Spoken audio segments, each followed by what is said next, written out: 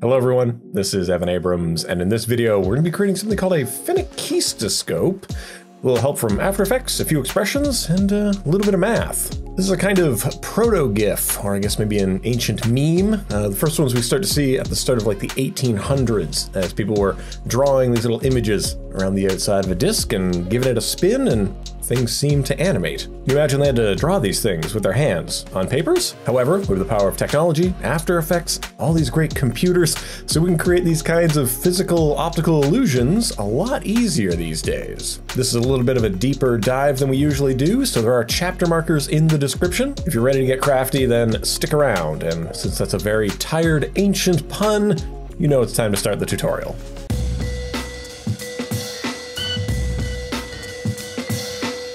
Much of the footage you'll see me working with here has been lovingly provided by our sponsor, Yellow Images. Yellow Images is the number one marketplace of high quality premium mockups, creative fonts, and my personal favorite, 360 degree images. They also have a creative store full of amazing graphical assets like lettering, icons, illustrations, patterns, textures, presets, brushes, and much, much more. Now, they're most known for their mockup templates. If you're doing branding or product work, you can quickly and professionally show clients how your designs will translate into real world contexts. I really enjoy their Images 360 product. A big frustration with regular stock assets is not having an angle quite right for a certain project, but when things are captured from multiple angles and elevations, sometimes up to 144 images of a single object, those pain points are not a problem anymore. Yellow Images are hooking us up with a discount for anything you might want on their site. The first 100 people use the coupon code ECAbrams20 We get 20% off when they use the link in the description and pick up some excellent assets from Yellow Images.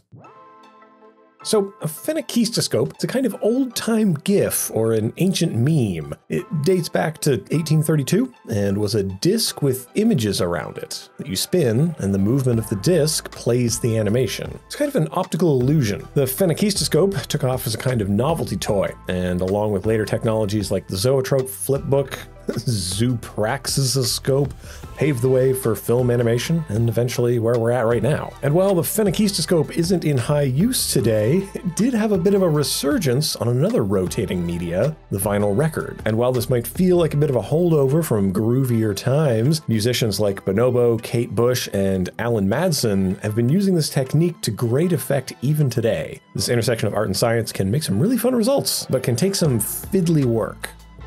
So how does a disk of pictures turn into animation? Our brains are constantly trying to make consistent patterns out of what we see. It's easier for us to think of these images as one continuous movement than as many moving pictures. So that's how we get the illusion of animation. Now, at a certain point, there are not enough frames to complete the illusion, or it's not spinning fast enough and the illusion breaks. For most people, that threshold is between 10 to 12 frames per second. So we need at least 12 frames around the circle, and then we just spin it at one revolution per second, right? Well, Kind of. There's some math that goes into this stuff, and getting this to move at the right speed you want can take some fiddling. But we can see by some historical and contemporary examples there is a lot of variety in how these things can be put together. We can start by simplifying the process and locking down some variables. In this video, we're going to assume a rotation speed of 45 revolutions per minute, which is 0.75 revolutions per second, or 270 degrees per second. So if I want to have a 30 frames per second animation, uh, very smooth, that means I need one frame every 9 degrees. And the total duration of the animation then, for all the way around the disk, would be 40 frames. But all that can be a lot of math. But that's why we have computers, right? So we can let them do all the math and we can be more creative. So that's where After Effects comes in. Our goal in After Effects is to take an animation and display its frames around a circle, offsetting each frame by a number of degrees. This process starts with building a large comp that we're going to call the plate. It's a whole frame long and really quite big. It's like a massive circle. Let's go with maybe 2000 by 2000 pixels. This plate will be filled with copies of our animation comp, the thing that will hold whatever excellent animation we're going to be using. This animation holder comp, that we've just called animation, will be longer and thinner maybe than you're used to seeing. And that's because it has to run from the middle of the circle to the outside of the circle. Here's a lovely little example animation. We've got this one set to be a 40 frame loop of this spinning spaceman. He's made of an image sequence from Yellow Images, and we're using time remapping to have him spin thrice around. But we'll talk more about designing animations after we've got our system locked down. For now, we just need to see something in here. And he's down here at the edge because he'll be along the outside of the circle. So back into the plate, how do we get this 40 frame animation to array around the outside of the circle? Oh, it's expressions. Specifically, we're going to put one on the rotation, then we're going to put one on the time remapping. Here's the one on the rotation.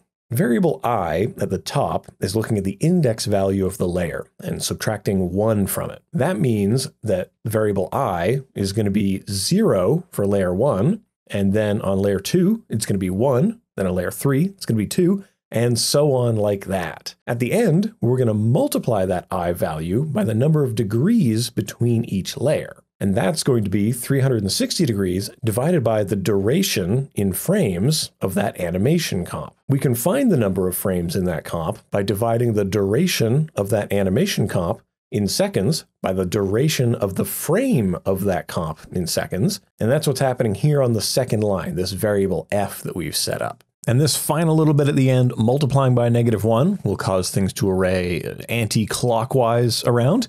You can leave that out if you want slash need it to array clockwise around. Just remember that we're going to put this on a record player, and record players tend to rotate clockwise. So if you want your animation to play forward, uh, then we need to array our frames anti-clockwise.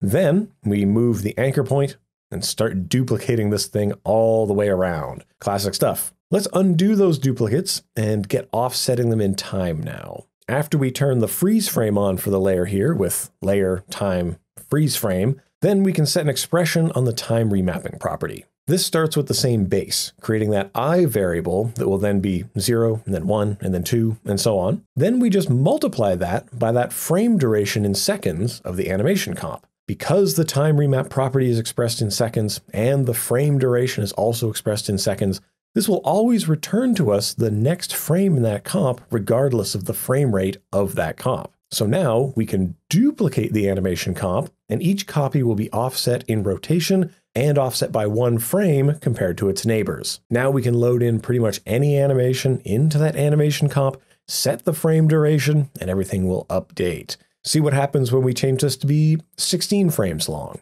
See how it updates? Then we just have to shut off the excess copies or duplicate more as needed. With this framework in place, this core of the piece, we can focus on creating interesting animations. Let's begin with a simple loop.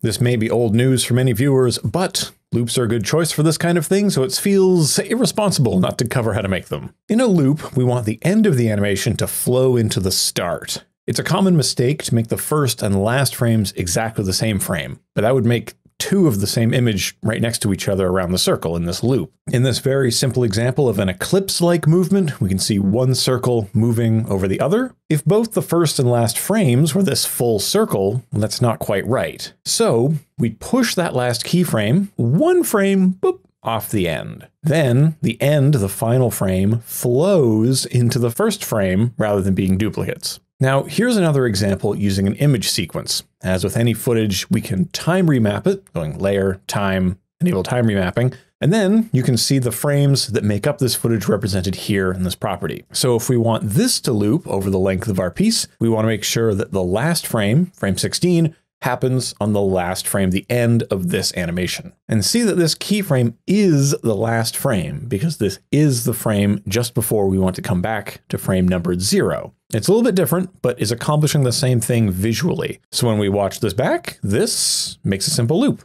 If you're interested in more looping techniques, let me know in the comments and we can get into more advanced looping solutions in other videos.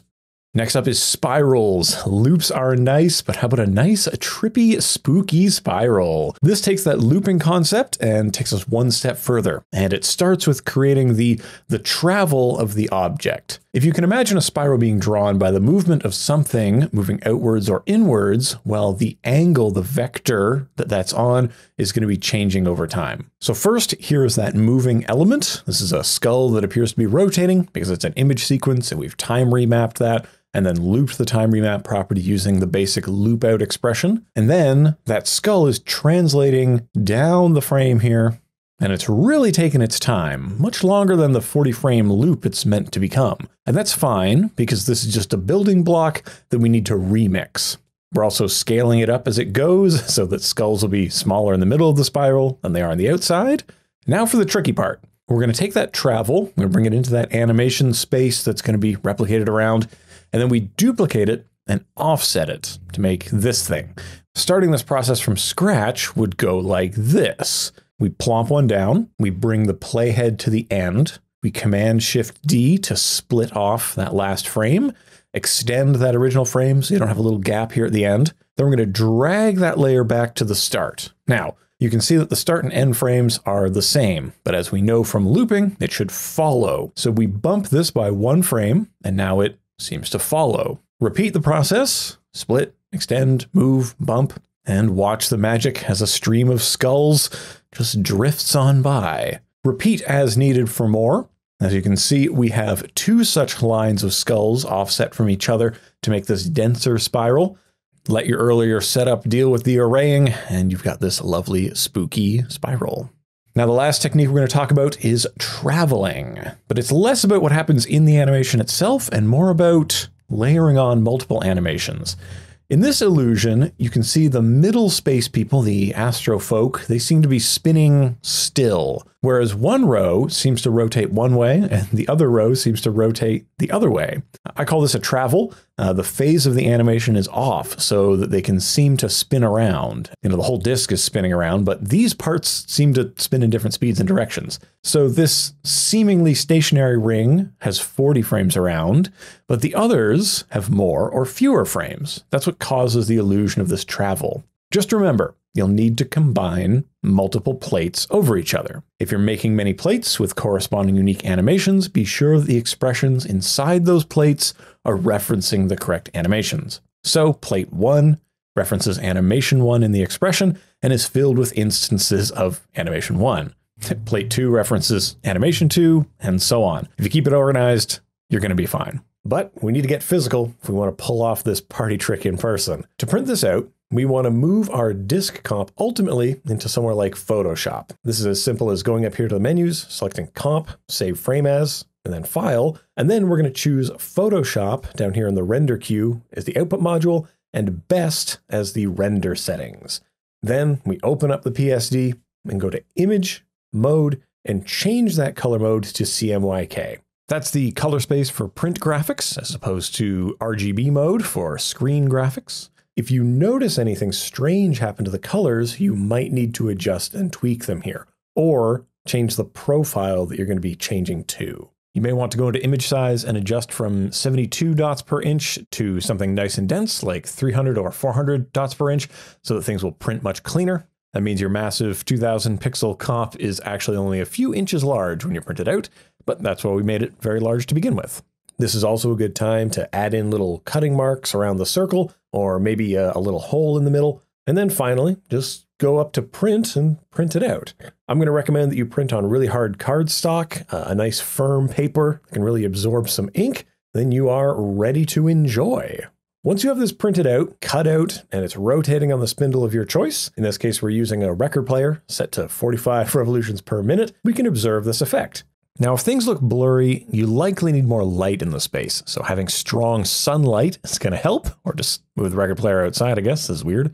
And if you're having a more indoor basement vibe, you can goose this effect with a little strobe light. Get yourself one of many free strobe light apps on your phone and set it to 30 hertz, which is 30 flashes per second, and the effect materializes. Filming strobe lights is very difficult on camera, so uh, sorry if this footage looks weird.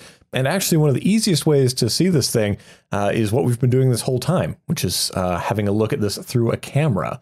Because of how cameras work, if you set your recording device to 30 frames per second, uh, then you'll see the effect on your screen much clearer than you may with your own eyes. So if you're having trouble seeing your phenakistoscope really fan out, then give those methods a try.